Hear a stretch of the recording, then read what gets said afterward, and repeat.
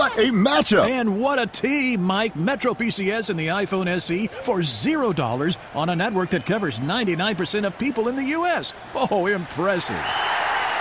Play with the best. Switch to Metro PCS on an unlimited LTE plan and get a 32 gig iPhone SE for $0. Metro PCS. Coverage not available in some areas, plus sales tax. Claim based on talk and text. Not valid for active numbers currently on the T Mobile network or active on Metro PCS in the past 90 days. See store for details and terms and conditions. She's, she's like making the I don't want to have lunch with you, but you want to have lunch with me excuses. Like, oh my God, yes, it has been so long. ah, text me. Do you still have my number? It's six, is the first one. and you know the rest.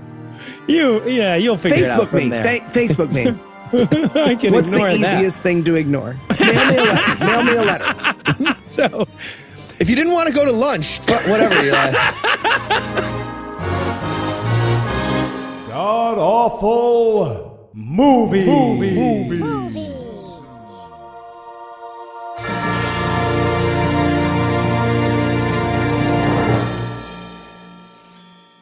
Welcome back to the Gamcast, where each week we sample another selection from Christian cinema because all the other shit the voices in my head tell me to do is illegal. I'm your host, Noah Lugeons, and sitting to my immediate left is my good friend Heath Enwright. Heath, welcome back. Thanks, Noah. Uh, you know what's the uh, capital of Nigeria? What, what is the capital? It's capital? Abuja. Interesting. Sometimes I just do trivia here.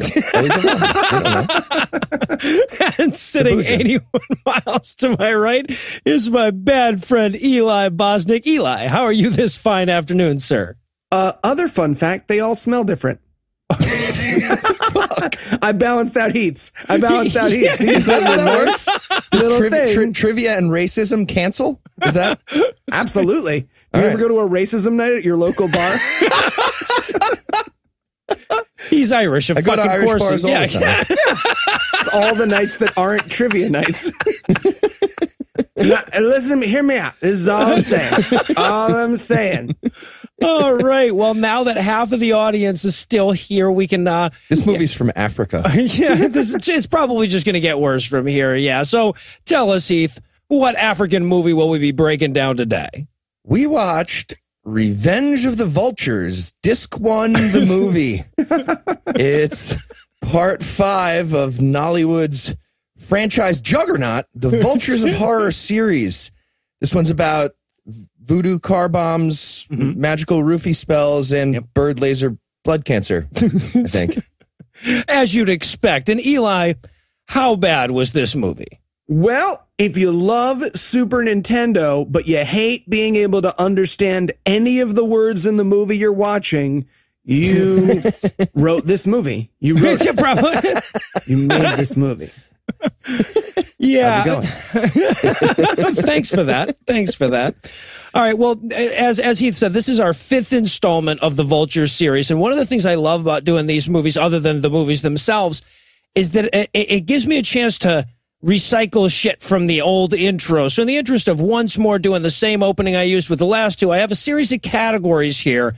And I want you guys to tell me where this movie ranks compared to the other four we've seen. So, uh, where would you say this one ranks in terms of kick ass vulture magic?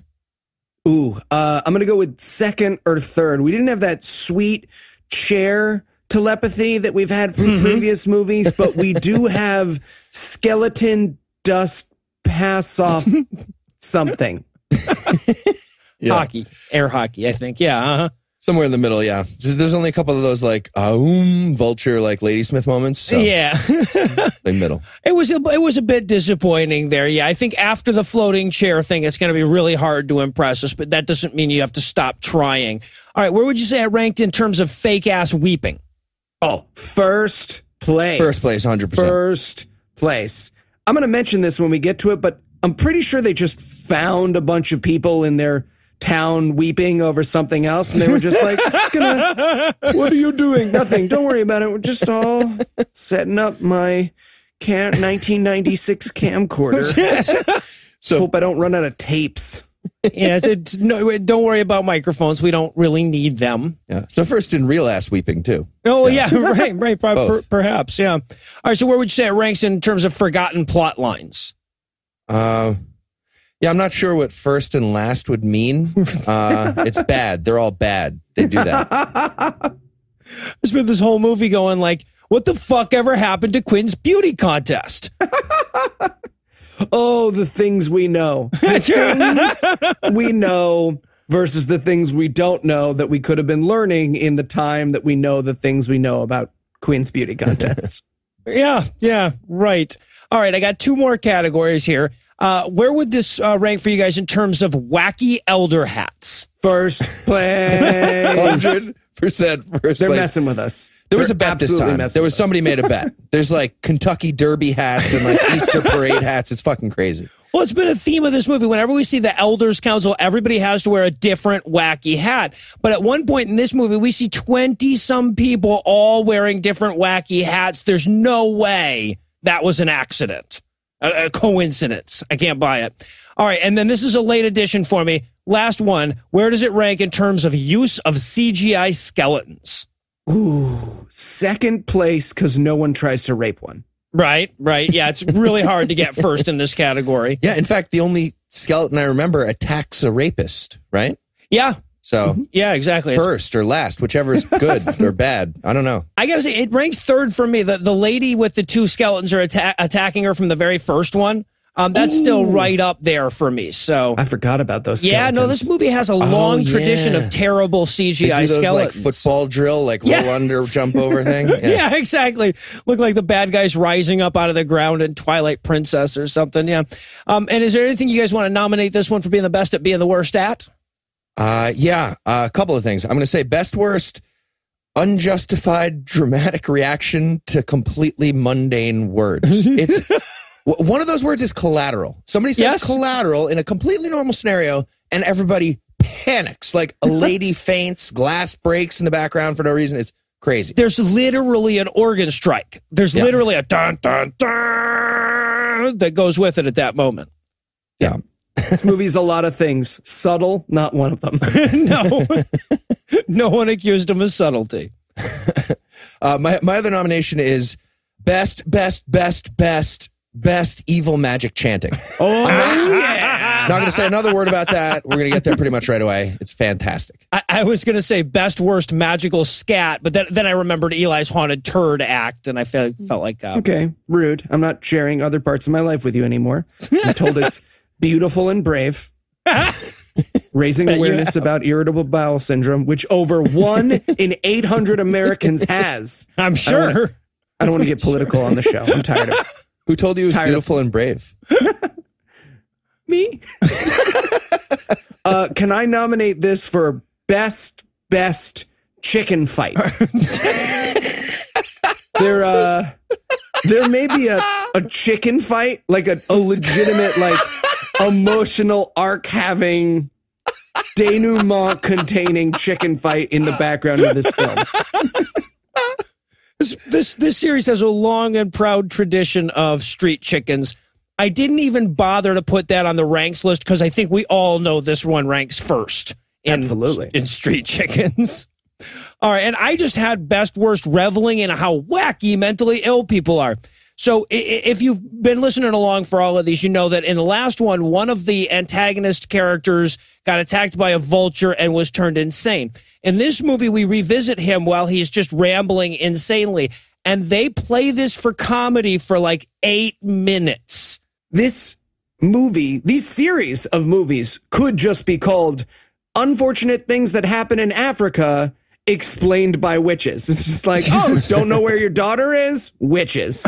Go crazy? Witches. Weird foot thing? Witches. Yep. Vultures of horror. Yep. We have access to cameras, but not the information those cameras could show us. Apparently not. All right. Well, of course, as soon as he said vultures, the auto tuning started to play in my head. So we're going to milk that anticipation a little bit longer while we take a quick break. And when we come back, we'll dive into all the batshit Nigerian insanity that is Revenge of the Vultures. Disc one. Hey, folks. As I'm sure you know, the whole crew is heading down to North Carolina for ReasonCon this weekend for a live record with Thomas Smith of Opening Arguments and Serious Inquiries Only fame. And as you might have picked up on, we had a bit of trouble with the travel arrangements. It's April. That's perfect chariot weather, guys. Yeah. Uh, unfortunately for us, Eli booked the trip using a, a map from the 1700s and a handful of seer stones. So the trip's going to include like bridgeless river crossings and a, a spot marked Here There Be Dragons, as I understand it, and uh, the facing of three challenges of the fire swamp.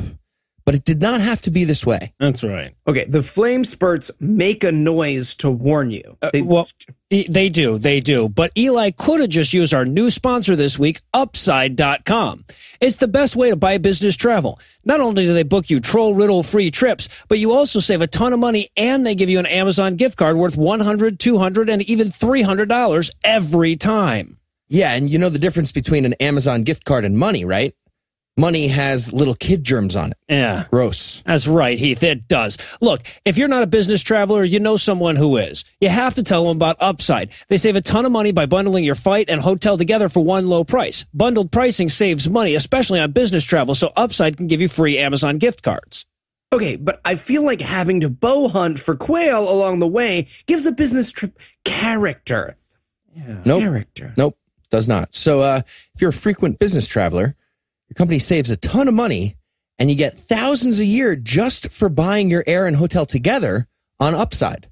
Plus, you still get all your miles. You'd be crazy not to check out upside.com if you're shopping for business travel.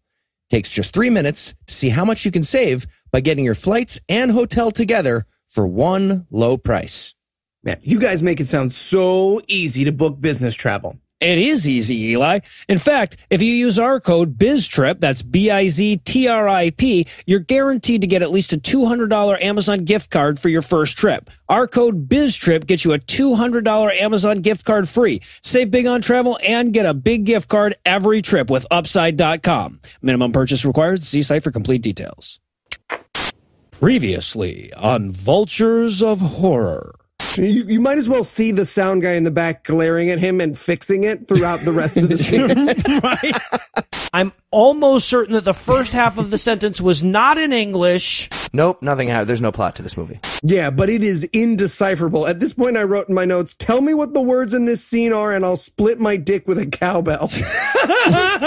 And then uh, we get pew, pew, pew for no, absolutely no reason. Just throwing it in there. So now forget about those characters and everything that's happened up until this point of the uh, in the movie because none of it will matter ever again.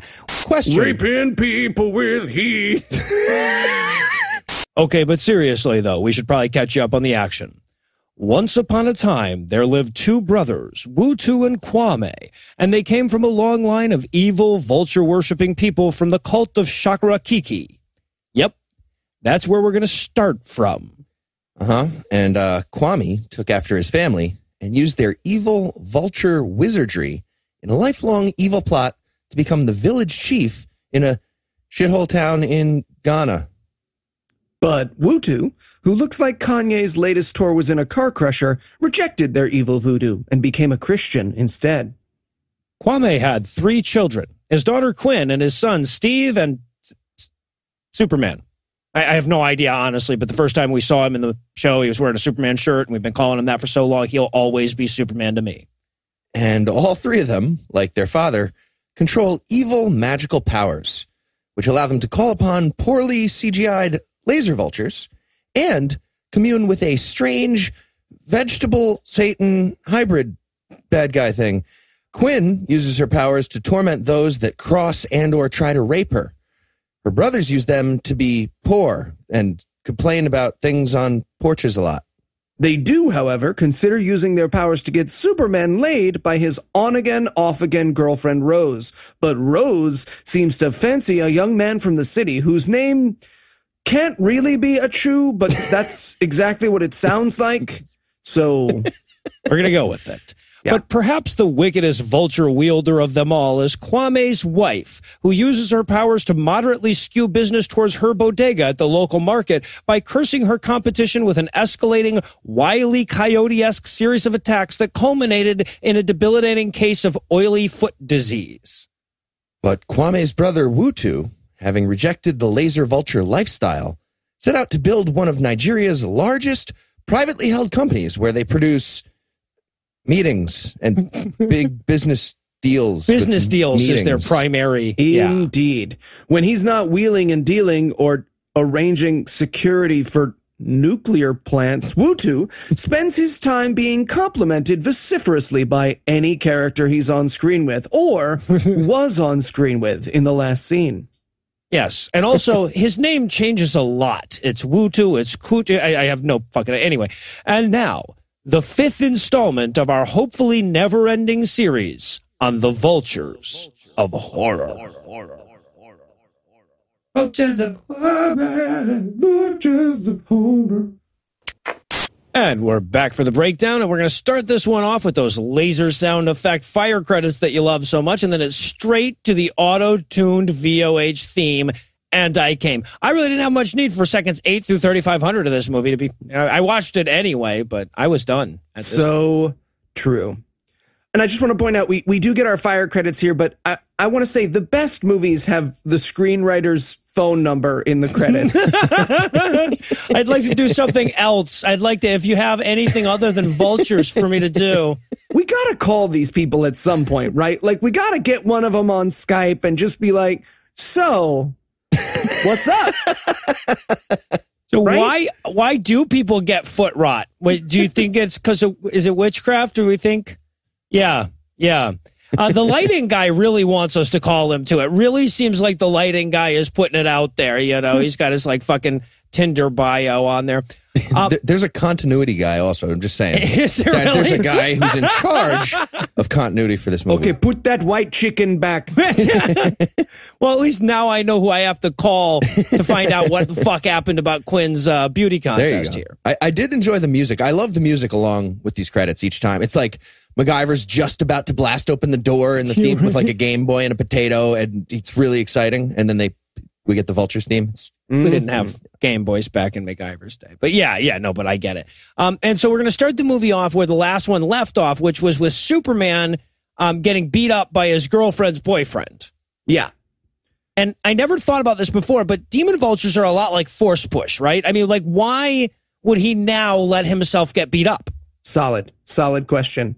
I also want to point out that we do get a slightly newer scene in this, which involves a woman carrying shit on her head through the shot, very clearly not giving a fuck that there was a movie being filmed.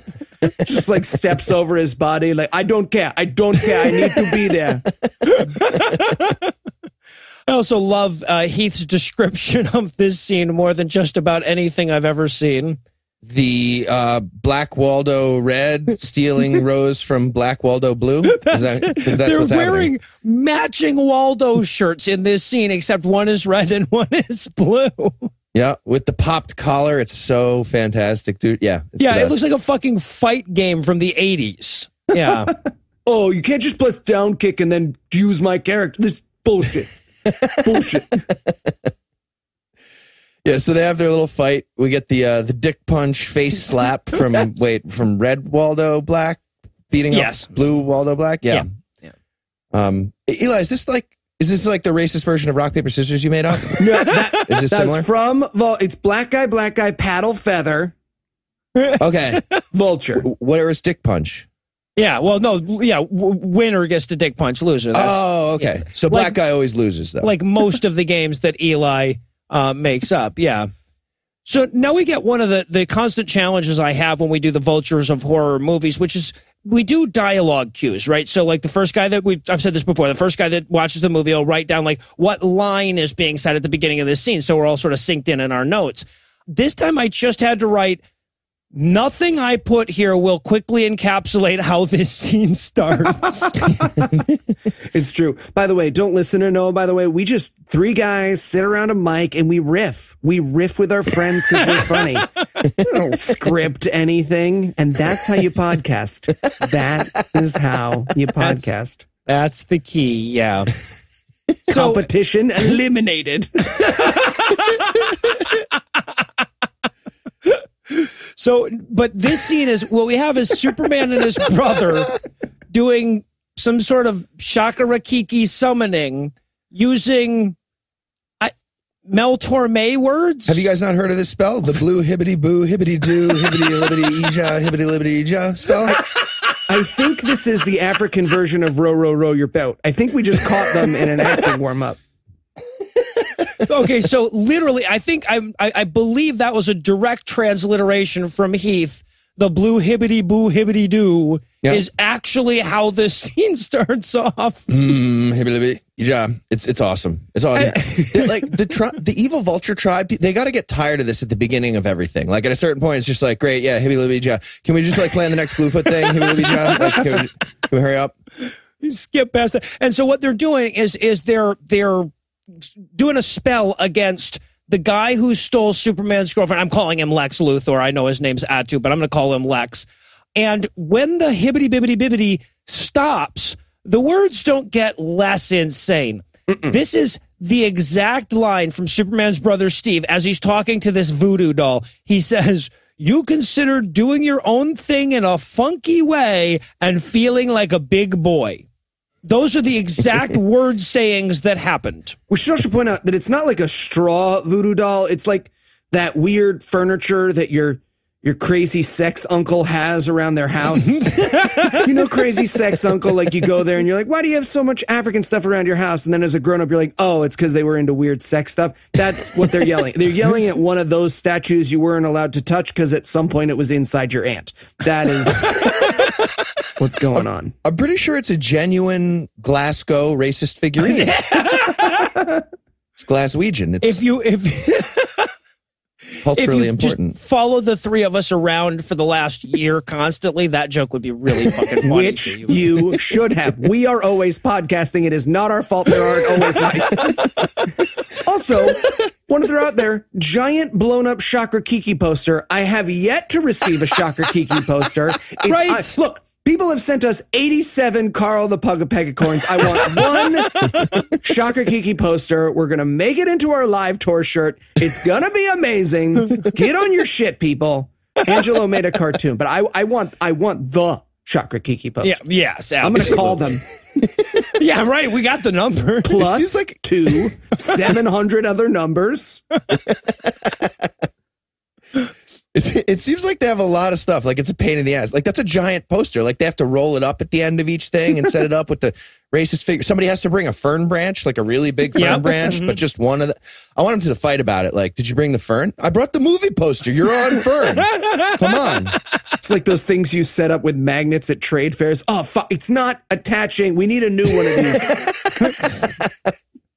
And also, I, I want to point out how quickly the curses escalate here. This is like a fucking Facebook thread because Steve starts off and he goes like, you know, you are going to do your own thing in a funky way and be a big boy, but we will cut you down to size. And then Superman gets the doll and he's like, die, motherfucker! I'm like, wow, that was quick. It escalates. It escalates. Yeah. Yeah. It's like letting me touch the planchette for a Ouija board. S you stop. You're pushing it. See, I'm not. Eli, you're the only one touching it. K E Wait, what are you spelling? Uh, reason. Also, this is where we get the first of, and we'll get plenty of these in the movies, the attempted unison cackle. Oh, they, it's so good. They and they they fuck up on the evil unison laughing, Yes, yes. and they eventually So just give up. It's like, Mwahaha. no, no, no, make eye contact. Sorry, mwaha. No, dude. Okay, on three, ready? One, two, mwaha. Go. Mwaha. Go. Whatever. fuck Three, two, one, go. God damn it. Are we going on Why go would it be on three? I mean, like one, two, three, and then we laugh. How could I be laughing One, while I'm saying two, three? four. Four? You said four after two? Just what's happening? And what they do, the way they do this is one of them laughs, the other one laughs like he's trying to catch up, and then they both turn to the camera and wah ha ha off time with one another. And like, I'm supposed to just carry on with my life. I'm supposed to just keep working and breathing and whatnot after this happens. Yep. Holy shit. And, and apparently this is a fast acting spell because now we're going to cut over to Rose's boyfriend's car just in time for a vulture to shit lasers on it. Yes. I wrote in my notes, damn it, now the car has an extra life. This is definitely more of a power up graphic than a curse one. It was like the blue flashy uh, disco bowling ball Jar Jar Binks and the Gungans use. Yeah, Exactly. well, yeah, kind of, kind of with a little less, uh, a little less opaque, but yeah. So, but yeah, I, I'm assuming he has a force field or super speed or an extra life, but no, apparently that shut his car off. And I love this moment. This is something that you only get in Vultures of Horror. Like they have to play like the car won't start, but they can't actually like he can't turn the keys because the car would then start. So he just jiggles them softly. they have jingly keys for a whole different reason in these movies. Yeah, exactly. And and then he's he conveys to us by scratching his body that the car is getting hot. And then Well, hold so on, hold hot on. that Is he's it, itchy. Is it? I think. I think the vulture used the mild itching beam before the. I mean, it's like a combo beam. It's like a an one-two punch. a- it- you itch, and then the car explodes into two cars. that explosion is so amazing. car explosion is everything. It is oh it would be an unacceptable flip book. if your kid brought this to you as a flip, book, you'd be like, you can do better than that, man. You're seven now. You're seven. Oh, I, this, all the parts just basically land where they started. There's more cars in the explosion than there were at the end. And th- this is an explosion that has lost its will to go on. this is Brian if he was an explosion. Yep. Just, I just go straight to the giant firebomb magic. Why the itching? Th- force push. mild itching first. So stupid. Oh, Jesus. The credits were still rolling at the bottom of the screen, and I had nine pages of notes at this point. So now we cut to the wailing that we were talking about in the intro, at least the first bit of wailing.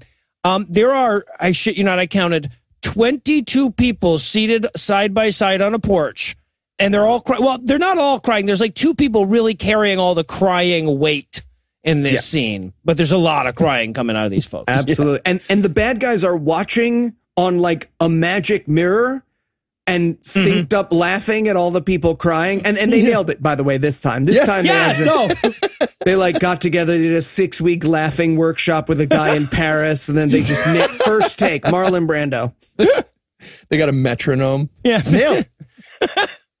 And this is the scene I was talking about also where like again, everyone in this scene is wearing a different weird hat. You just have to imagine that people showed up and were like, "Oh fuck, I was going with giant purple Dr. Seuss stocking cap and now you I got to do a different thing." Is anybody is anybody here doing big yellow bowler? Okay, Nobody I have okay. currently living fox juggling. all right? That's mine now. How many balls? No, no, any You, kind I, of I was going to do five. no, Yeah, uh, only if he do- does pins. a- if he does no- pins, it's different. That's stupid. A fox juggling pins. Yeah, it doesn't make any sense. They're too small. How would people be able to see them? this is why we have meetings. And um, so as they're watching, as the uh, evil brothers are watching all the crying, Superman turns to Steve and he says, "I feel like doing something, Steve." And I'm like, "That's definitely gay sex," but no, it's straight sex. Yeah. He's he's gonna finally magic rape Rose. Not After consensual. four movies. Yeah, no, we've spent four movies with him going like, well, if I sell my iPad to get enough money, maybe she'll fuck me. And and his brother the whole time is going like, why don't you just use the force push, bro? You can force push her clothes right off and then rape her a lot. And so now he finally takes that good advice. And, and when he says it, his brother goes, That's my guy. And I just want to say, That's my guy is the weirdest response you can have to someone deciding to finally hypnosis rape somebody. I'm just saying. What's an appropriate response to that? Cut know. it He's out. asking Heath. for a friend. Cut it out. Um, yeah, Well, the, the line we get next is "Call her from the Cadwin of Monis." Is- do you have an, any idea what that was? not a clue. The Magic TV. Not a clue. Uh, but immediately after that, an astro smash projectile hits her in the tits, so she becomes zombified and starts walking towards him. Mm-hmm. All right, somebody out there knows what Astro Smash is and knows exactly what I'm going for. That's the exact visual. Anyway, so much yeah, less usable form of Astro Glide from Noah's times. Astro Smash. Buy it in a gas station bathroom. Eh. it's for guys. so Steve gives his brother some quick magic rape advice, and then they cackle together some more. And then Rose shows up all submissive and magicked.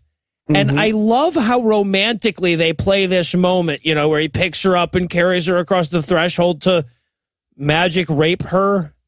Yeah. This, this movie didn't want to like too overplay the whole rape through magic hypnosis thing. You know, they wanted to show the positive sides of it.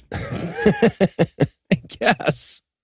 And they end this scene with um I don't even know how to describe this kiss.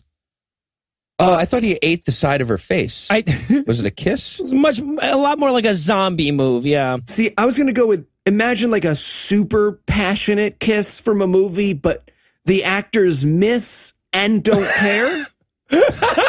Just keep going. Yes. I want to stand with you guys missed. Fuck it. You on a mountain. It's as much of that song as we can use. and Fuck you, Soundgarden. Try and take my money. and now we cut to somebody being tormented by vultures. Um, yeah. Now, this has been a running theme, and I don't think I really realized this until this film, but for whatever reason, no one can keep their pants on while they're under magic vulture Why vulture are attack. his pants open? Was he fucking the vulture, and it went bad, or or is the natural reaction to vulture attacks to to take your penis out? I like think so. peacocking, so to You- speak. yeah, you scare them. It's like a bear, how you try to get bigger. Oh, And with, with a vulture, you're like, no, look, I have a dick. And they're like, oh. I s- it seems to me, Eli, that someone gave you that advice and you followed. Well, I have shown Um, my dick to a lot of vultures. and If that's the wrong way to behave, I don't want to be right. Well, you know, you haven't been laser attacked by any of them, so I guess I can't really argue with your logic here. And this is, we've gotten a lot of vulture attacks in this movie. This might be my favorite one here. I mean, obviously, it's no floating chair, um, but so uh, first the vulture comes in and pecks out his eyes, Mm-hmm. and then he turns him to dust, and then into a laser hockey puck. Right. We're A- just getting started, folks. yeah. And then his neighbor comes out and he's like, hey, someone getting blinded and turned into a laser hockey puck out here. and a skeleton runs on screen like someone doing their tech in a high school play and throws the laser disc that used to be the guy at the guy who's come out to check it out. And now he is also blind. and then very quickly after turns to dust. If it, the eye thing feels unnecessary. Yeah, They're right? just disappearing these people. They're blind for half a second first. I don't. If there's a theme we've found in the last month or so, it's that the movies we watch tend to s- not skip steps they need to skip. that may be the theme over Yeah, the last like- 87 movies Like editing, for example. Steps like Or that. sound, yeah. Um, and uh, by the way, I believe those were the other two rapists from the beginning of the last movie. I think that's what that was. That was like the vultures taking out Quinn's last two rapists. Mm-hmm. or maybe it was just two people. I don't know. This was, uh, and, and I have to point this out. We were, this is 10 minutes and 32 seconds into the movie. This is when my Nintendo Switch arrived. Okay. We were recording this a week in advance because Eli's out. This is where it arrived. And I had, our, the Zelda game came the day before. So I was really ready for it. My wife came in. She just held the box out, like, you know, like just kind of around the corner or whatever. And I'm like, fuck. And I watched the rest of this movie instead of playing fucking Zelda for you people. I Noah want has three everyone. notes for the rest of the movie. Yeah. and Black it's like, I know another thing. silly things. you get it, riff. You're putting these goddamn chickens on here on purpose. You're just trying to tease me. Yeah. So, and, and then we cut to Quinn chilling in her dorm room, doing her makeup, and her mm-hmm. roommate shows up crying over the blinded laser dust explosion skeletons. And Quinn could not be less casual. She's like, one of our, two of our classmates were murdered and their body parts were scattered all over. And she's like, uh huh. all right. Well, they're going to be dead forever. So I have a Cinnabon to get to before it closes. Six to eight, they cut the prices in half. Yeah, so she gives him a quick like, yeah, sorry about them dead guys. I really gotta gotta be some anyway. So and, and her roommate asks her, you know, like you're I know you didn't like those guys and they tried to rape you and everything, but you are gonna go to the memorial for them, aren't you? And she's like, oh, you know, ha- like half price from six to eight. Uh, I don't know if I made that clear. She's, she's like making the I don't want to have lunch with you, but you want to have lunch with me excuses. Like, oh my God, yes, it has been so long. ah, text me. Do you still have my number? It's six is the first one. and you know the rest. you, yeah, you'll figure it out Facebook from me. there. Fa- Facebook me. I can What's ignore the that. easiest thing to ignore? Mail me a letter. Mail me a letter. Mail me a Google invite, and then I will get back to you. So busy, I've got a recording that day. How many shows do you do a week? Eight. So If you didn't want to go to lunch, wh- whatever, Eli. Wanted to go to Mamoun's and get a whole. It would have been good. He did mail that Google invite, by the way. So now we're going to cut to Cornel West's underfunded clone dancing crazily in the street for the next 27 minutes, Oof. yelling all the math terms the writers knew about. Yeah. And I just I want to point out that the only way that you can tell that this is his crazy ramblings and not just the dialogue of this movie is because he doesn't have his pants properly fastened. Yeah. Yeah. Like that's like this movie's code for crazy because they need to give you a fucking code. Right, exactly. Uh, uh, we all have at some point in our notes for this scene. This dialogue is different than the rest of the movie. Harder to, easier to, It is. It is crazier. the closest to making sense anyone ever got. I'm like, yeah, you could conquer the sun with enough plastic made of dinosaur heads. Yeah, no, that makes more sense than most of this film.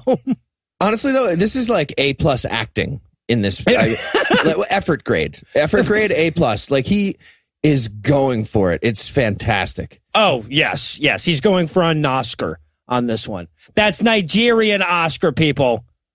I wasn't How racist. dare you? How And- dare you? Yeah, no, I would have to say this is probably the best acting we've seen in this film so far. But while he's running around being insane and talking about how he's going to conquer the sun, Quinn and her uh, roommate walk by and see him being all insane. And the roommate has the most bizarre reaction because she's like, "Whoever did this to him will never have peace." Like he's got, he's mentally ill. That's not a did this. I mean, in this movie, yes, someone did that, to, but normally that's not a culprit kind of thing.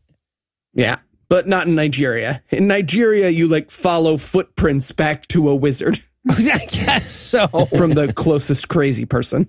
Do you guys speak Nigerian? I didn't get any of this scene. I had nothing. Heath, it's because you take notes Yeah, on no, your but- own sheet. You got to read Noah's notes. That's what I do. I read Noah's notes, back 30 seconds. Yeah, sure. Why not? At least we can all agree at the end of it, even if we, nobody understands it. We can pretend well. Yeah. Textual criticism for Vultures of Horror. Oh, if you awesome. stack Noah up like 400 times, he is ta- 400 He- pounds. he's he's he's God. Yeah. No. Clearly. Um. So. Uh. Yeah. Did that So. episode come out yet? Yes. that Yeah. made No. I sense. was. I was thinking that myself. I'm like, is that a call forward or a call? No, that's a callback. That's a callback. That was last We week's show. The only it? timeline that matters is mine. No, you nailed that one. You nailed it.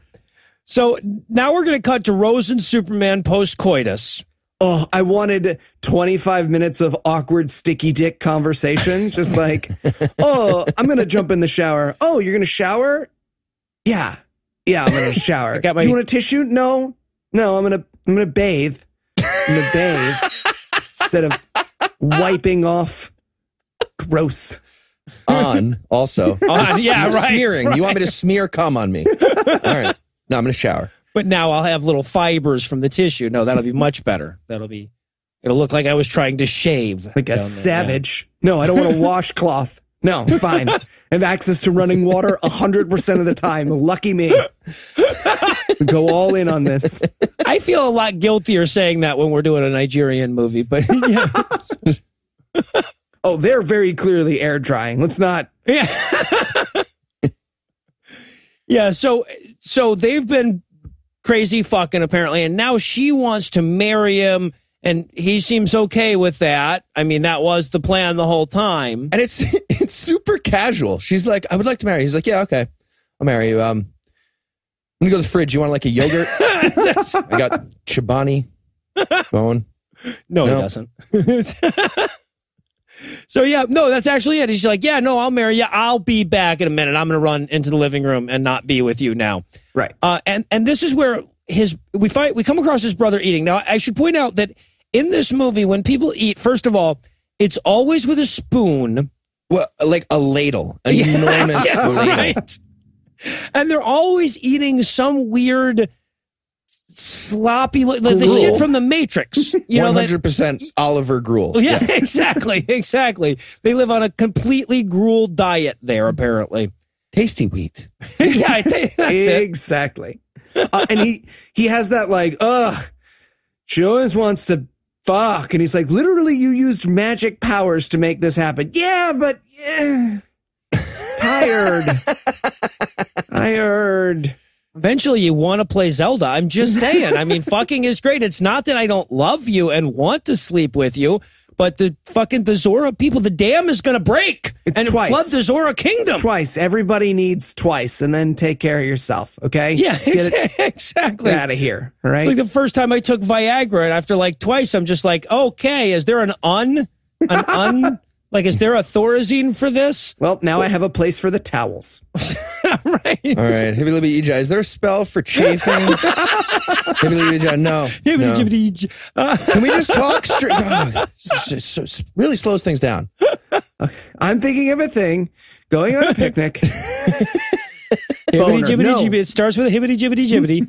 um. So yeah, and yeah. So the, the but the dialogue they hear, have here basically is him saying like she wants sex every second. I can't handle it anymore. Um. And I sure wish I had won her of her own free will. And but not that bad because then after the scene is over, he goes back to fuck Rose some more. And does this strike anyone else as the buddy who won't go down on the girlfriend problem? Like, I've had this conversation a couple times in my life where the guy's just like, yeah, man, day and night. And I'm like, really? Day and night? you sure you're not bad? Because, because, you know, if you get it done, day and night not really a thing. He's like, I don't know what you're talking about. And they're like, oh, you don't know what I'm talking about? They only Yeah. need a minute. They, they they really only need a minute. That's true. Do you need a tic tac? No? Yeah, you're what doing this wrong. me. You're doing this wrong. So so now we cut over to One of us is doing this wrong. Eli. I think it's me. So now we cut over to Rotfoot lady from the bodega getting Rotfoot treatment. Ugh. Just when I couldn't get more aroused. And I love this. They have a dedicated foot washing cinder block for glue foot. Oh, Like that, that's something they have. almost everything in this movie is a legitimate source of white guilt. And can we point out that there is a very audible goat in the background of this entire scene? The entire scene, it's like my sister, meh, meh. It's like neighbors having a, a fight that you want to ignore. Meh, meh, meh, meh, meh, meh. And they're just like, don't, don't engage. You don't want to be a part of that drama. meh. So Man. so now so okay so and and as the daughter or something is fixing the rot foot lady's foot or whatever on the dedicated rot foot cinder block. Well, you don't want your your glue foot touching the grass because that would be gross. So you have the glue foot block. Everything in Nigeria is like kids playing, but they don't have all this stuff. You know, no, this will be a desk. We'll use this Yes. as a this will be a desk. so uh, uh, yeah, but they're talking about Rose and what the hell happened to her because apparently when she went off on this fuck fest, she didn't leave a note for anybody, so they haven't seen her in two days. Right. And so she puts a curse on whoever killed her son and stole Rose. Well, right now again in this movie, this is really what happened. But if you take that out of it for a second, this woman had a foot ailment. Her son died in a car accident, and her daughter went off to fuck some dude and didn't tell anybody about it. Therefore, witches, right? Hmm. Terrifying outside of this movie. Right. And so she sends the the younger girl that's that's helping her with her foot off to go find Rose and see what happens. But of course, we can't end this scene until we see what she does with the foot washing tub. It's put it away, by the way. I was very grateful with that, by the way. Just like tied up that loose end. they, they like, she's like literally she has to walk off camera right, but first she takes the thing up on the porch and then sets it up and pours the wa- and we watch her do all of that. Just some improv. I really wanted to just like casually start gluing construction paper with her foot together and making some arts and crafts. And then she uh, plot talks for like another five minutes. Yeah, well, once Dee Dee leaves, the, the younger girl, the, the Rotfoot lady, has to like direct address the camera about how she's going to kill the person that killed her son and gave her Rotfoot. She will kill the fuck out of that person. So now the non foot lady, Dee Dee, from the last scene, is walking down Wild Chicken Road. Chicken fight! Look, I have no idea what goes on in this scene. I watched it seven times, never for the characters in the foreground. There is a full Oedipian, I don't know if that's a word. There's a full Greek, Oedipal? there's a full Oedipal drama going on in the back. The chicken runs into its father on the road and slays it, marries its mo- Watch. Look, I don't, you don't have to watch all of the Vultures movies, but watch the nine act Wagner opera entirely done by chickens going on in the background. It's fantastic. Yeah, and there, there's it's so diverse. There's so many types of chickens. It's like a college brochure of chicken diversity having a bar fight in the background. A big parade. They're all dressed in like hipster clothes and shit. I, like I, honestly, I was expecting Kendall Jenner to hand a Pepsi to a rooster at some point. I was just expecting a link to run through and pick one up. I my my mind was on one thing at this point. Yeah. Holy shit. Okay. So in the foreground of the chicken fight, which is again this that's the scene. This is just background shit, the dialogue between these two characters. But I, I wanted to write this down. This is the kind of dialogue we get in this movie. Okay, so Dee Dee runs into Rose's dad as she's walking over to find out where Rose is. This isn't exactly what we get. It's actually more monotonous than this, but this is the kind of dialogue we get. I don't know where she is. You don't know where she is. I was going to check on her because I don't know where she is. I don't know where she is. You two don't know where she is. I thought she was with you. Then where is she? I don't know. Let me hit you.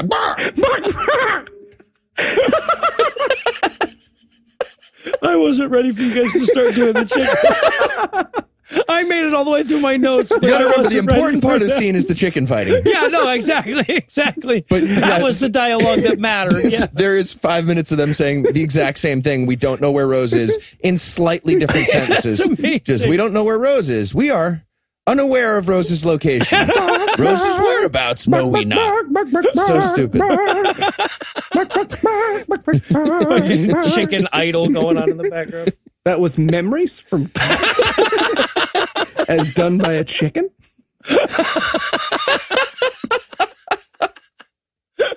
I've been working on that. I've been waiting for the opportunity to use that for so long. Warming up in front of moment. Anna. Two, three, four. Oh, I hope the audience enjoys this as much as I do. Otherwise, this show sucks. All right. So, but the the key on this one is that like after several days of no one being able to find Rose, finally someone's like, you know what? Why don't we call her phone? I, I mean, I saw how many numbers there are in Nigerian phone numbers, so I can see why you would be hesitant. But they try that, but her phone is switched off, so that doesn't help. Yeah.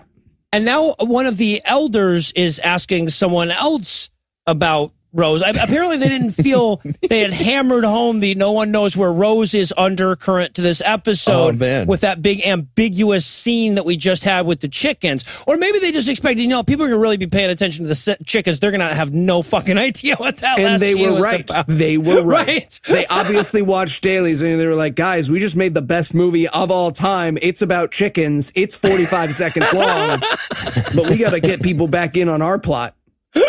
Yeah. Right. So few people know where Rose is, though. So Yeah.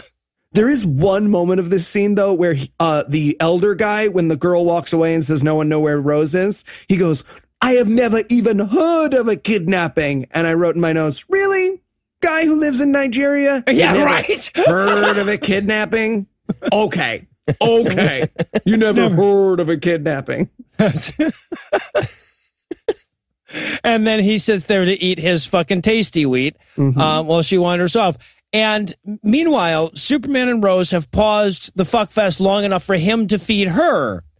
In, Some- in bed, yeah. yeah. uh-huh. However, if you're picturing sexy bed food like strawberries dipped in chocolate, you should stop. No. It's the exact op- he's he's shoveling like a KFC famous bowl into her face like he's powering a steam engine. It's not attractive. It's amazing. By the way, this is now two out of two scenes. These characters are doing things that people think they want but don't. Nonstop fuck sessions and feeding each other. Anyone who's ever tried to feed another person is like, you do it. What are you, a fucking baby? Just eat it. Eat. eat. And I'll eat. No, stop. Get, get away from me. I just realized having something forced into my mouth is actually not fun. Speak for yourself. Um, yeah. And, and so she she has never enjoyed herself more than this and wants him to hasten the formal marriage rites. It's a weird burst of vocabulary. It all of a really was.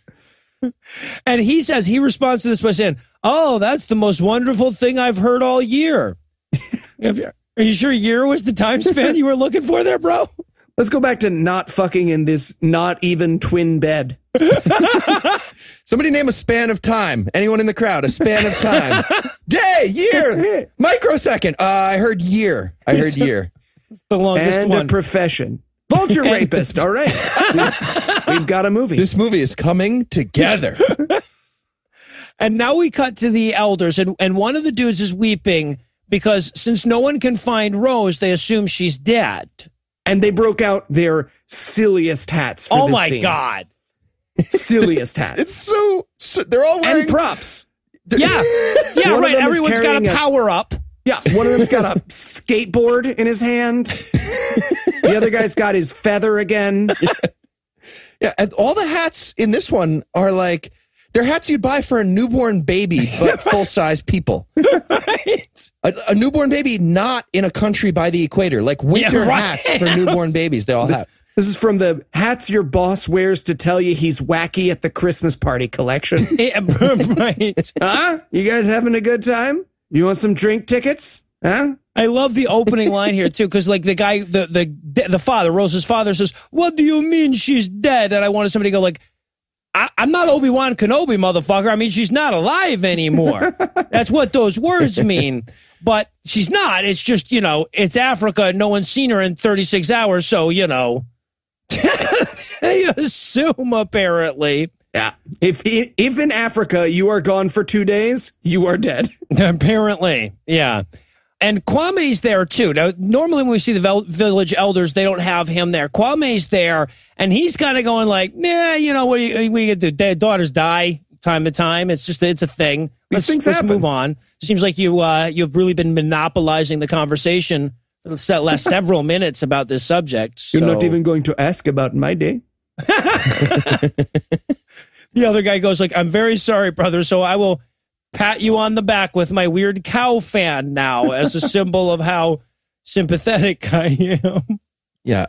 And by the way, they've decided she's she's dead, right? Mhm. Just Yeah. like like in this town, gone for two days equals definitely murder rape dead. Yeah, Hundred percent. yeah, clearly. Well, I I mean, I don't know. This father's never even heard of kidnapping, but you know, apparently someone has. And I also want to point out, like, Superman is Rose's ex-boyfriend, right? Like when her boyfriend present boyfriend died and she disappeared. No one thought to ask the ex boyfriend if he'd seen her. Yeah, this movie's cast is all the people who think Adnan didn't do it. no, no, it was a serial killer who maybe walked through Maine once. so Could nice on the been. phone. Could have been. You're all stupid. Maybe he was eaten by dogs. That also isn't a call forward. Well done. You guys are killing this. I'm, I'm just not referencing that any other episodes today because I'm so fucked up in that. Lee Strobel's stupid. And then we go back to Superman, and apparently he's done with all this rose fucking. Uh, the anticipation was was greater than the reality, so he releases her from the magic spell.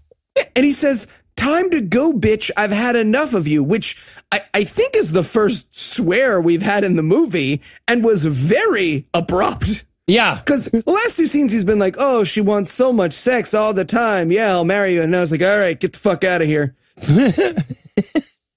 Those are the words of a roofie canceling spell. yes, I mean, yes, that's- exactly. I feel Time like to that's go, bitch. thematically Just- consistent. I love it. Yeah, the opening of the spell is hibbity bibbity bibbity jibby jibby but the closing of the spell is all right. Get the fuck out of here now. And then uh, after he tells her to go away, we watch her get dressed for a uncomfortably long time. For like 10 minutes, she's just like, ugh, fucking sweatpants.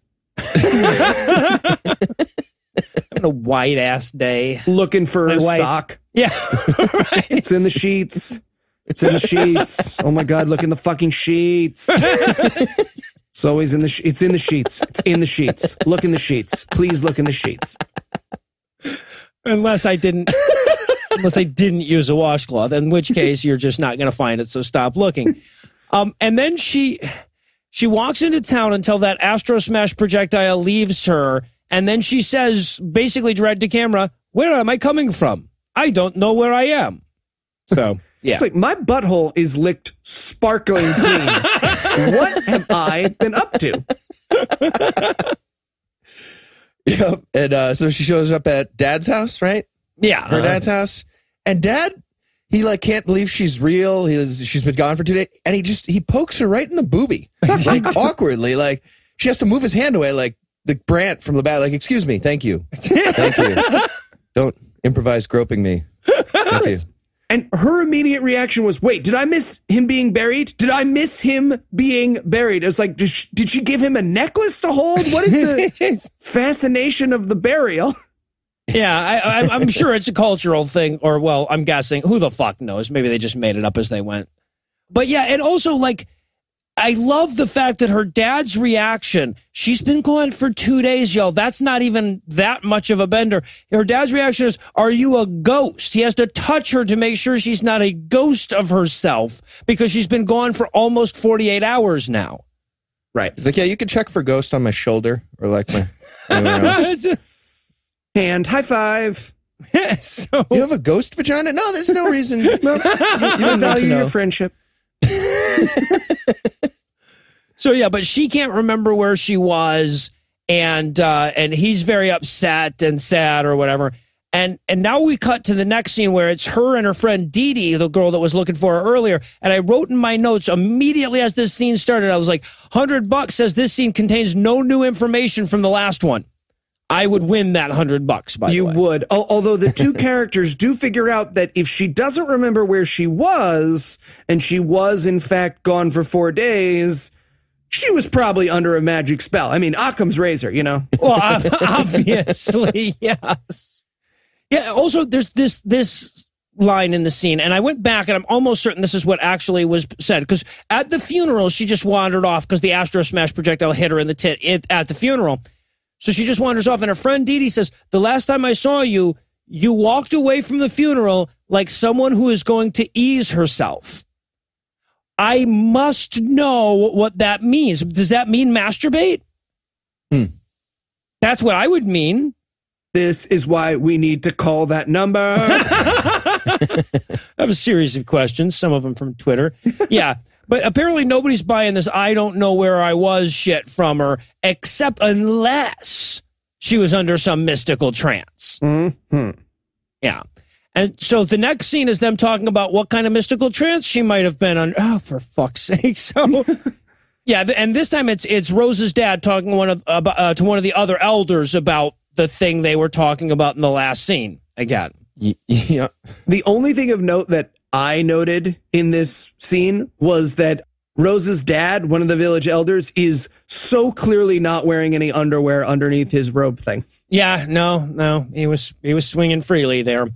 But also, I love because he's like, uh, perhaps she was under an evil magic spell. You know, the other option is she wanted to fuck some dude and didn't want to tell you guys. But yeah, eh, but the other guy, the other elder is like, obviously, no, yeah, definitely evil, mystical hypnotism magic. Can't think of anything else that would cause your hot daughter to be gone for a couple of days and not tell you what she had been doing. Yep. Yeah. Better better go to the priest for a cleansing.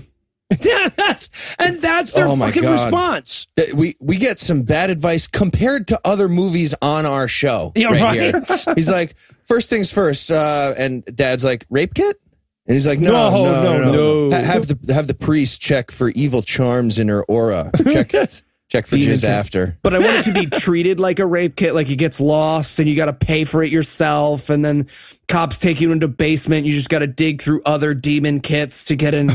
Finally, you bring it. It's inadmissible because you opened it accidentally. Jesus. You got to sue the demon in civil court. Your jokes are so depressing. I mean, they're funny, but they're so depressing. Um, It's yeah. like Ryan Braun in the steroid scandal. Very similar.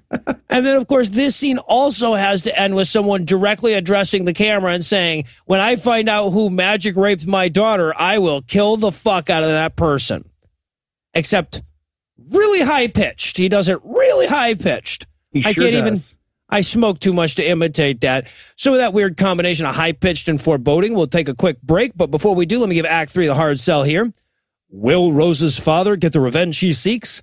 Will this episode ever contain the main character? Will that bodega lady eventually stop wailing about her goddamn foot?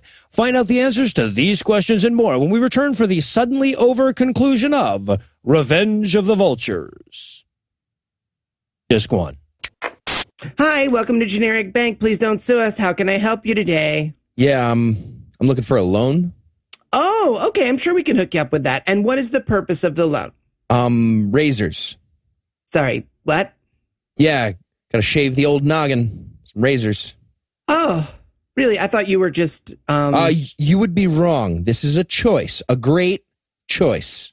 really? Yep, really. Wow. What about the top of your head? Because it looks different in the way that it. Uh, it sort of- looks like I did an extra great job up there. Yeah, thanks. I appreciate that. That's what you're gonna okay. say? Yeah.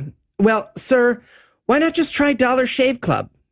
Huh? What's Dollar Shave Club? Dollar Shave Club is the smarter choice. Get a great shave at a great price, conveniently delivered right to your door. No need to buy a cheap disposable razor that'll give you a cheap shave or spend a fortune on razors with gimmicky shaving tech you didn't need. You mean I don't need a razor with an eighth blade where my thumb goes? No, you do not. Okay, but but I'm trying to save money. This has to cost a fortune, right?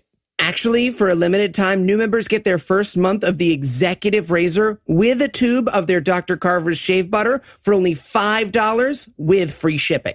Really? What's Dr. Carver's shave butter? It's the best shaving cream you've never tried, and it's transparent for a more precise shave, which helps prevent ingrown hairs and fights razor bumps. Great. So I don't have to guess where my face is. You don't. Fantastic. Okay. But what about after the first month? After that, razors are just a few bucks a month. In your first month box, you get an awesome weighty handle, a full cassette of four cartridges, and a tube of their shave butter. After your first month, replacement cartridges ship automatically at the regular price. There are no hidden fees and no commitments. Cancel anytime you like. Okay, you sold me. How do I sign up? Join the club today at dollarshaveclub.com slash god awful. That's dollarshaveclub.com slash god awful. All right. So I guess I won't be needing that loan after all. Guess. Or maybe get one anyway for like hats. I'm not bald. You're bald. Dollar Shave Club, the smarter choice. Especially if you're bald. Are you lonely? Looking for some fun? Then call the Vultures of Horror sex line. Where all of your fantasies come true. Because of bird magic. What am I wearing? Face paint. And only face paint. Ooh, I can see you in my mirror now. Now I'm blowing up your boyfriend's car. Call now and talk to Hot Vulture near you. Look, if I don't become community chief, nobody will. Oh, who um, who, who are you talking to? Yeah, 'cause we're over the- here. Uh, nobody. Nobody. I'm just saying. Nobody will. yeah, okay, but see right here, who are you looking at? It's like you're looking out, but we're over No, here. n- I'm not nothing. I'm looking at nothing. Or am I? I can absolutely see you. You're not. Uh, Look yeah, at us. me too, and and hear you as well. Well, you can. Yeah. Yeah. Uh-huh. Vultures.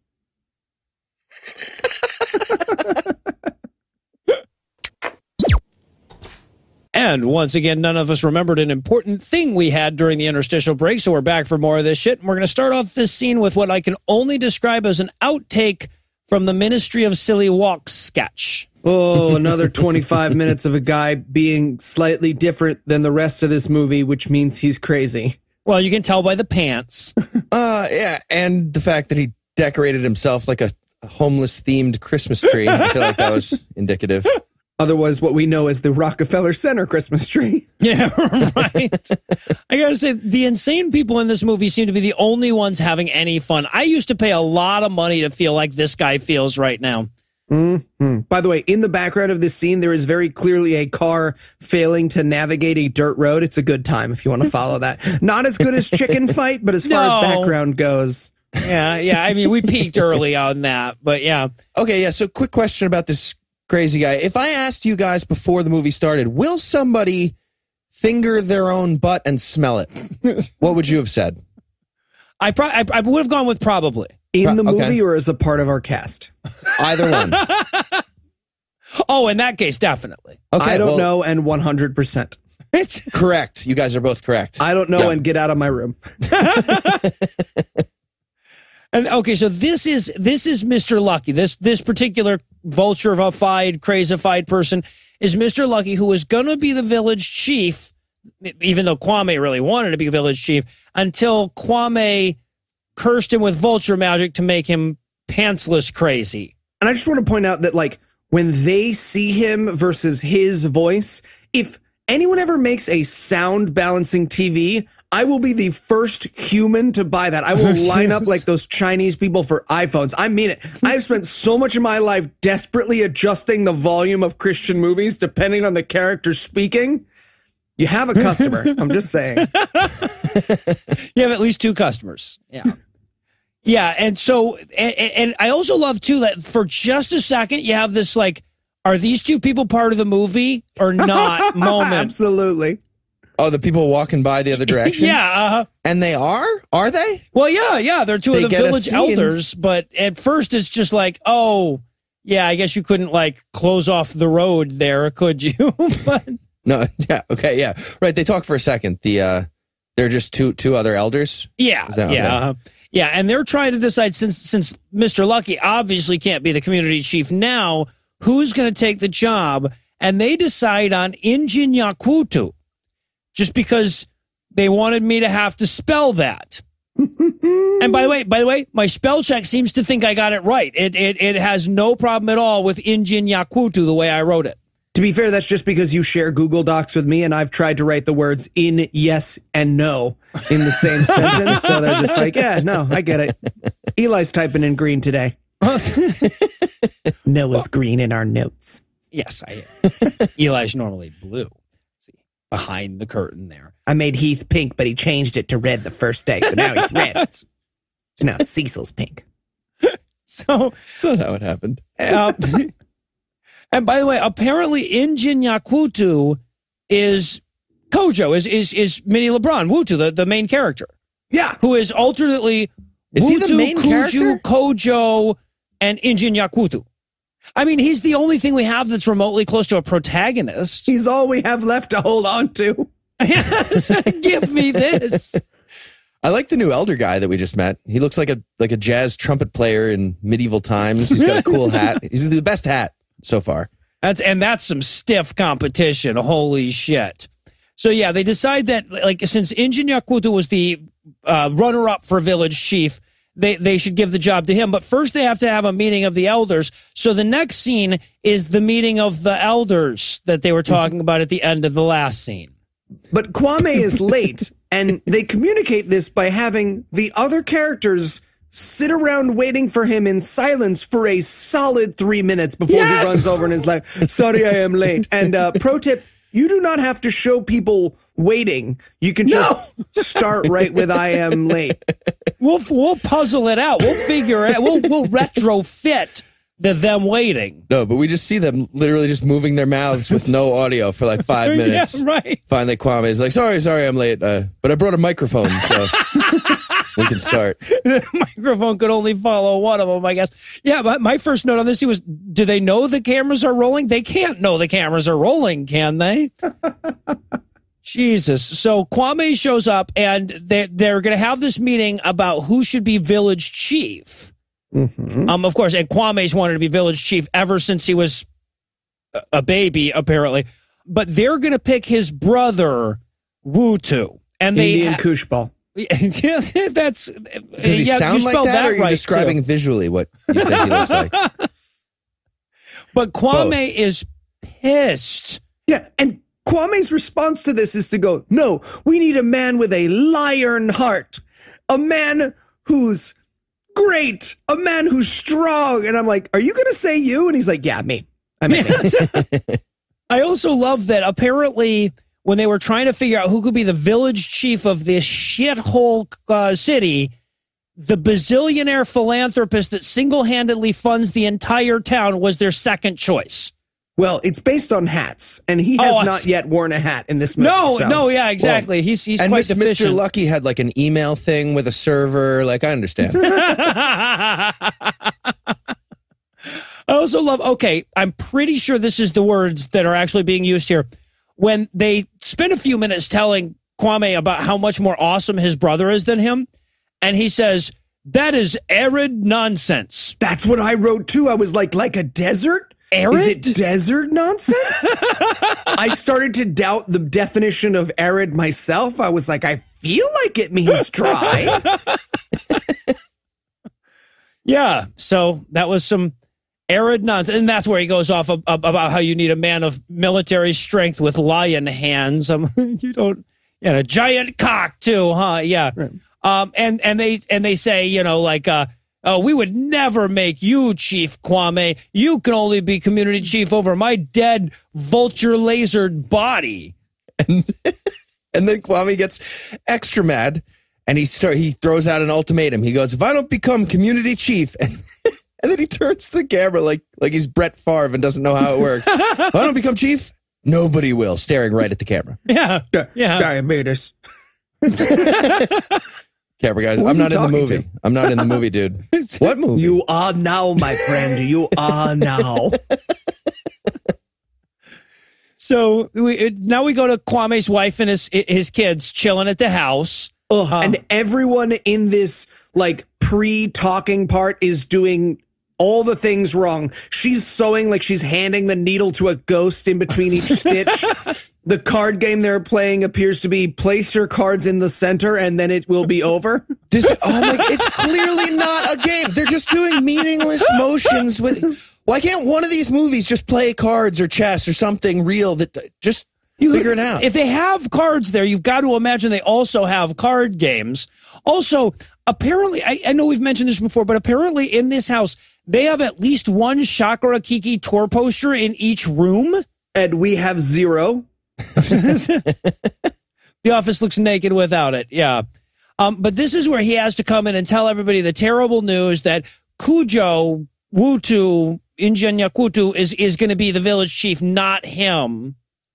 And everyone's very upset, despite the fact that we've been through this before, folks. Yes. This conversation has happened in every Vultures film. This is the fifth film with equal amounts of surprise and outrage. Yeah, that, that he's not going to be village chief. Yes. So it's about the same damn thing. Yeah, but Steve is willing to fight for his dad to make him village chief. So they're going to do that. So now we cut to Kwame lying awake at night, thinking about it like a me after a Twitter fight, just like, and then what you don't know is this at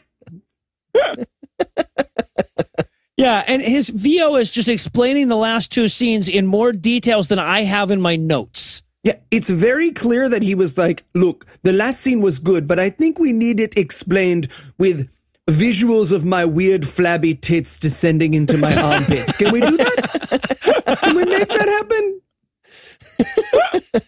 And they can. Yep, they did. Lucky us. And during his voiceover, by the way, at one point he's talking about his brother and he goes, I may have to stink him. Yeah. Stink him in a way that he will have nothing in him at all to attract the people. Like like an upper decker. He's No, gonna I- get him- with an upper oh, decker. Oh, see, I was thinking a, a Hitler. I, I assumed it involved chocolate covered pretzels. how um, does how does Hitler fit in? It's Oh, it's, you it's, it's the Jewish version of the upper decker. Really? No. No, no. it's you're getting ready for the record, so you put your finger in your butt, and then when they're asleep, you put it right below their nose, so they look like Hitler. But then they smell shit, and they're like, "Where's all that shit?" And they don't know it's them. You got to do that with people who will think it's funny. Still try to find one of those Yep. people, but I will Oh, eventually. for a lot. Oh, for a lot. Also, by, by the way, one of my favorite parts of the scene, Kwame's wife is right next to him. She's supposed to be asleep, Uh-huh. but she won't stop moving. no. She's like she's like doing improv. Like she might as well be uh, like steering with a steering wheel in bed for no reason. It's so stupid. And then she wakes up to the sound of his inner monologue. yes! Yep. She's like, "What did you say?" He's like, "I said that." Sound- okay, it's fine. We'll just start talking regular. Yeah, and, and also like when she wakes up to his voiceover, he must then repeat to her all the stuff he just said in his voiceover. Ah, and then she gives him a quick evil pep talk and they go back to bed. And now 45 minutes into this show, we check in on the main character. Who is getting ready to close a $500 million deal. Well, they're considering it. They don't know if they want the five hundred million dollar deal. That they're deciding. Literally, there are not $500 million on that continent. Not 500. well, okay. We all want to pretend there's $500 million deals just going free in Nigeria? No. No. Why not just say 895 trillion? Yeah. Like, just, Yeah, might as well. And uh, but of course, first they need to raise ten million dollars. You know how five hundred million dollar deals work. First you have to raise the first ten million. What, what what's going? Did like did the Prince of America send them an email? what the fuck's happening? You have to raise ten million first to get to five. I feel get like this plan is craps. Like, does anyone else really Yes! feel like this plan is craps based on the odds and the needing to raise the money? Like, if they if it cut over to like a, a craps table and he's just like, mm? So uh, okay, Pretty good odds. I mean, it's better than you get. better no, yeah, payouts yeah, than certainly perhaps better for than a single like number. roulette or whatever. Yeah. So, so and also okay, so the guys he brings his two assistants in, and he's like, you know, I want to make this decision, but I feel like two heads are better than one. Now, first of all, it's three heads. You're you're are you just counting the heads you can see, bro? But secondly, both of his assistants disagree with his assessment of this, and he still goes ahead and does it. So, what was the point of bringing them in? yeah, he's like, yeah, and I mean, we'll put up the entire company to the bank, and they're like, oh no, do not do that. That's a terrible idea. And he's like, you are negative Nancy's. Basically, it's every company meeting with me, Heath, Andrew, and Noah. It's like me. Look, we buy an elephant. They don't need him at the circus anymore. We write god awful movies on the side. Stop hanging up on me. I can tell everyone's muted me. I can tell when you guys have muted. Also, he okay. So he's like, or they're like, who would lend us this ten million dollars? He goes, well, I found a bank, but we'll need to put the company's assets up as collateral. To which we Bum, bum, yes, literally, we get the organ strike to that collateral. You get super fast zoom in on one dude's face. Psycho, re, re, re. So weird. And I love too how, and this is uh, constantly throughout this movie. This has been a theme of it, but how vague every business thing in this series has been. you know, this, they refer to this as the business deal.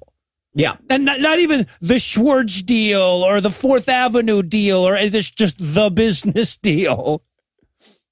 And and then in the next scene, we go to Cujo with his with his wife, recapping the previous scene. Oh, She apparently also doesn't agree with this idea. So it's four heads that he's going to ignore. Right. And she explains to him that he's labored for 10 years to build this company to be the company it is today, which is a Company. business. I wanted someone to run in, point a gun in her head, say what this, say what it does, say what the company does. They make deals with. Village elder hats. No, that's a five hundred million dollar industry. Okay, all right, that would make sense. To which his counterpoint is, you are not thinking. Five hundred million dollars is a lot of money, and I'm like, yeah, that's true. That five hundred million dollars is a lot of money. He, he explains what that means. Like he, tr- like imagine a stack of dollar bills that's like two million inches high, two million inches. Well, yeah, because that was clearly her problem with it was that she had not yet realized 500 million was a large number of dollars. Um, but yeah, yeah, exactly. Uh, so, eh, but he ignores her and he's just like pissed off. He's like, why is everyone wondering what will happen if the business fails? And like, well, everyone's livelihood will disappear then. That's probably why they're considering that heavily. And then I get to write hibbity boo hibbity boo bop yeah as the dialogue cue for the next scene. Um, I hate to correct you while we're recording. Hibbity boo, hibbity boo, yeah, mmm. Mm, yeah, no, Hibbity yeah. Mm. Hibbity To boo, the lyric, to the tune of MMMBop, by the way. Yes. Hibbity bop, bop, ba dop, ba dop, vultures. Oh, just vultures with that blonde hair that covers their eyes. You're not quite sure if wanting to fuck those vultures makes you gay, and they grow up and they're they're You're guys. and sure. you're like, yeah, You're sure. You know. that makes me gay. but you're kind of okay with it. And then you realize how young they were when you wanted to fuck them, and you're like, "Ooh, that's a whole new thing." Oh. It's like the Olsen twins, but for gay, not pedophiles. Yeah. Exactly. well, but gay, but also We're talking pedophile. Full House Olsen twins, right? Subset. Full- Oh, you're getting judgy now? You're getting judgy? Me and Heath were on the same page. you got it, dude. I was on page 12 of the notes here, so I'm going to go back to that. Classic liberal. So, so now, in, in this scene, okay, so we're going to open up on them doing some more magic, and they've got the evil white face marks going, so you know shit's going down for this. Um, and he, during Kwame's spell, he's got his, his sons out there, he's doing this spell, and he puts out a little African folk wisdom. He says, A man who brings in firewood infected with insects invites lizards for lunch. Oh. What? I wanted a flash cut to lizards coming over with a pot roast, just like, hey, oh my God, your home is beautiful. what the fuck was that? Oh, I would have loved to hear more proverbs from this guy too. Yeah, Just keep right. saying them. Two two wrongs don't make glass house. Uh, I don't know. Look, we're going to sew all of these onto a pillow, and they are available at our store. if you would like your A Man Who Brings Home Firewood Infected Lizards with Invites Lizards for Lunch pillow, patreon.com. Yeah, Nigerian folk wisdom is uh, also all a legitimate source of white guilt. By the way, was this not disappointing to you guys that Kwame was not holding his face in his hand with fire coming out of his neck? Yeah, I feel like that's. I mean, whatever spell he's going to do here is going to suck. Like that's how you do a real spell. yeah. I mean, We he did this. he did that just for like the kid who took the balloon. You would have thought, yeah. But now they're they're what they're doing now is vulture cursing Kuju. Um, for, and he starts the curse out by saying, you know, how dare you keep giving money to people and making them feel so poor? So Yeah, classic conservative. And they're gonna and they're gonna take all his easels. What? Is Th- That's the curse, right? I they're gonna, think that's the flock Yep. of vultures is going to fly by, a bunch of easels in their talons, and now they'll never paint for for a minute. yeah, until they get another They get easel. more easels. Damn it! So, but okay, so but here's how their curse is going to go. They want to kill him, but first they have to reduce his fortune to zero, and then he'll have to die, but mysteriously. Mysteriously. It's got to be mysteriously. He mysteriously. adds that at the end. And all of them, at this point in the spell, all of them get purple vulture power ups. So I believe do. they can take direct hits for like the next 90 seconds. mm-hmm. Oh, you True. mean you mean the eight bit ducks from Duck Hunt that fly into their chests? Is that what you're talking about? that was it. Yeah. Oh, would have been great if they just got flying tackled by an eight bit dog at the same time, Always would be great in all movies at all times. Yeah. and not movies. So, and I love to, okay, so at the end of the curse, he goes, you know, could you die now. And I'm like, not now. What about the wealth being reduced to zero? You just said the vultures are confused now. They don't know. You have to be clear with your vulture instructions, bro. They fly back just holding the easels. What are we doing, man? this seems stupid. Like, This like code we- is a fucking mess. This code's a mess. What is this, Python? Because it's Africa. They have snakes Python's very intuitive. Whatever. Yeah, they don't have pythons there, but yeah. Um, and, and just like we- a really emotionally aware snake. Like, what's going on? I can tell you're being upset, Heath. Heath, talk to me. Don't Name a different this. animal that I look like besides snake. No, can we? Can we move on?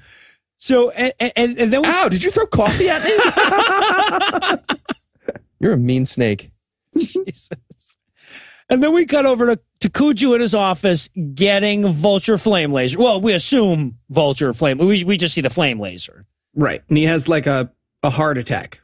Yeah.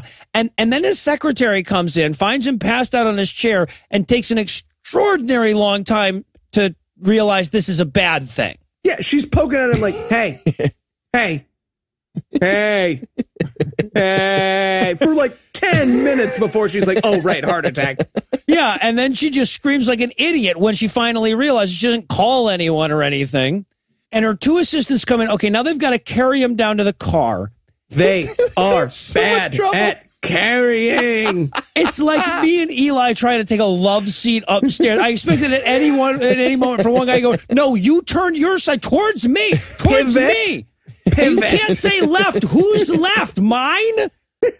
Yeah, Pivot. so they they bumble his ass out, and they It's like a busboy who tried to take too much, Yes. but it's a person. yeah, Like, like a busboy tried to bust too many dead bodies. and then they they take him to this sad and terrifying little Nigerian hospital. Not a hospital. Absolutely Yeah, not. I They hope take him not. to not a hospital. I had school nurse's office or courthouse. could have equally been either. And also, just to give you an idea how bad this is, they bring him in on a let's call it gurney. It's a buffet table. It's a buffet It's a table. wheeled buffet table. And when they bring him into the door, they have to lift him up to get the gurney over the door. They don't have inclined plane yet. Oh, They've they got have to three fucking of butter him to get him in the door. They like slam his head. It's like airplane. They slam his head, they turn him the other side, slam his head on the other side of the door. They literally have to like pick his arm up and move it to get him to go through the door. It's fucking All right, hold hilarious. on. Let's let's put like ten logs under him, and we'll roll him, and we'll roll him in. It'll be like the pyramids. And then we head over to the uh, to the wine and juice box store that Cujo's wife runs. It's about time. I I mean, we need to know what happened with the sales at this lady's juice store. Right. They, I mean, they teased us with it last time, and Yeah. now again, maybe. Oh. Also, I just want to point out this movie tempted Noah by having the exact same theme music as Zelda for this scene. It You know, they were just like. Gotcha. It's just vultures. More vultures. All those chickens are real chickens too. Yeah, yeah. And so she's talking, you know, to her friends about how amazing Cujo is, which is what everyone does about him in this movie. Uh, which she gets a call from the secretary, and she has to run to the hospital. So now we we we head over to this hospital, and this is a hospital that you could only imagine an American citizen in if like the CIA was afraid they'd over tortured him and needed him revived. Yeah. Let's go with benefit of the doubt and say the people who made this movie don't know how hospitals work, but I'm going to say this is the foremost hospital in Nigeria and they just like got the room for a day. It might be, yeah. Everyone's just like eyeing the stethoscope like it's gold. And so we watched this doctor examine him for like several silent minutes. And again, the guy's the guy's like shoving the stethoscope up his ass, going, "I don't really know how any of this goes." So Cough. after, yeah. so after five minutes of that, the doctor turns to everyone and goes, "Yeah, he'll, he'll be fine. He'll be fine." Yep. That's the whole diagnosis. I wanted them all to leave. Oh, all right, let's go. Seems like he's being a real drama queen. And His speak- ass beat is fine. I don't know what we're fucking worried about. But no, his wife comes running in and yells questions at his unconscious body for somewhat like 20 minutes. What happened to you? Why are you ignoring me? What animals is our friend Kwame like?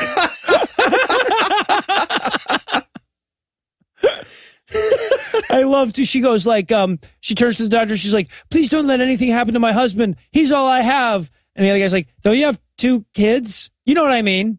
I don't. get it. I don't know what you I actually mean by that. Yeah." And of course, my notes here are simply: there are three minutes left, and then I get to play Zelda. it was important to me.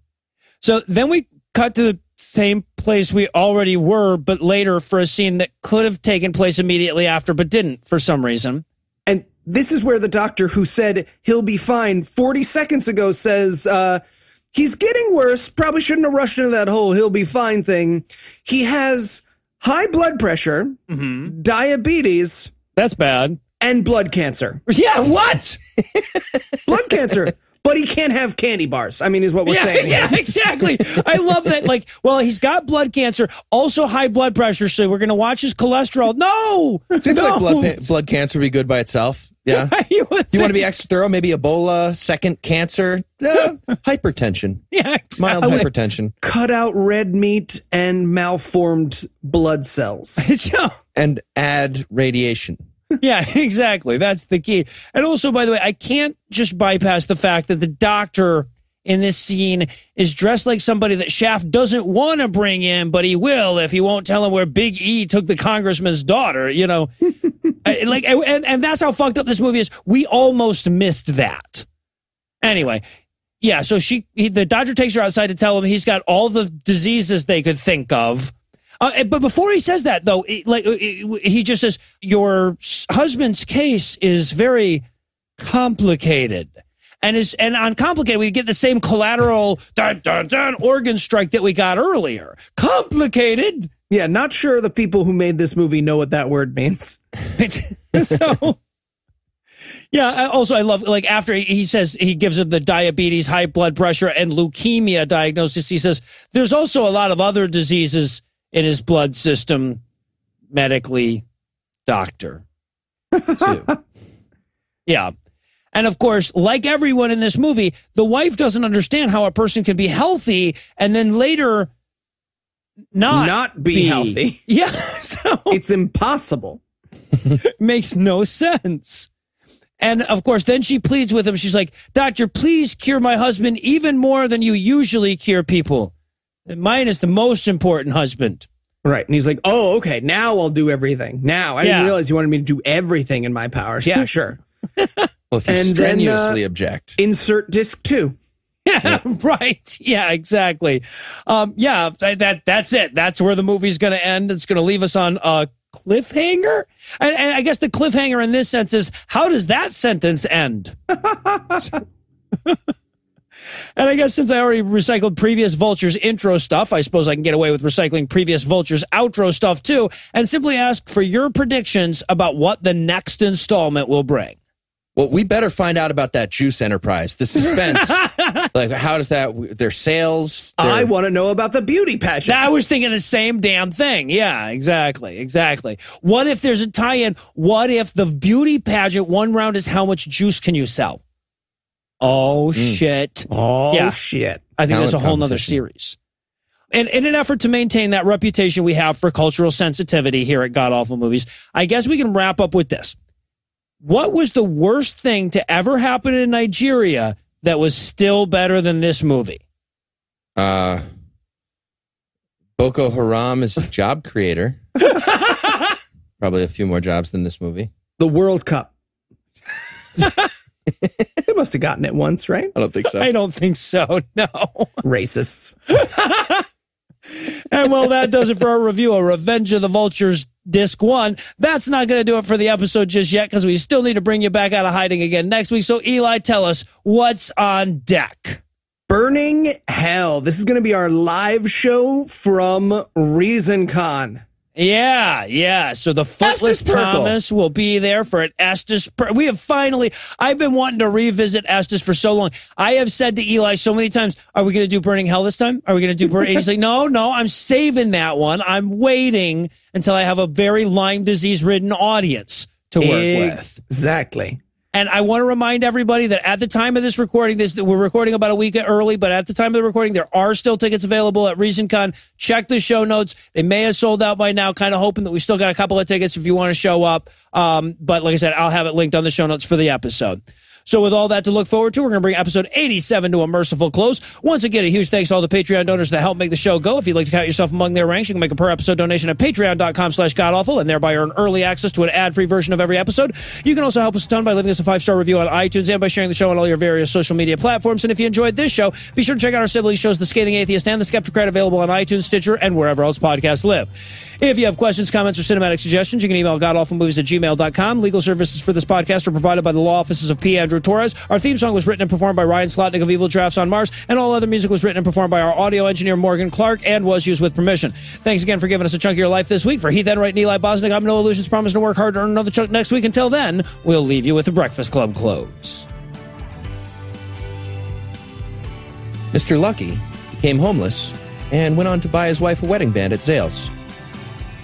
At Res OKC on Twitter originally recommended we do these movies, and I will never be able to thank them enough. The doctor stopped fucking around and really got to doctoring now. Noah eventually did get to play Zelda. Awesome. And it was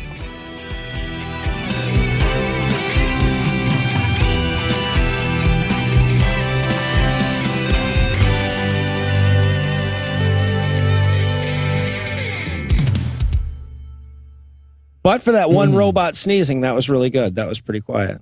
mhm. One, two, three, four, four, five, five, six, six, seven, seven, eight, eight, nine, nine, ten. ten.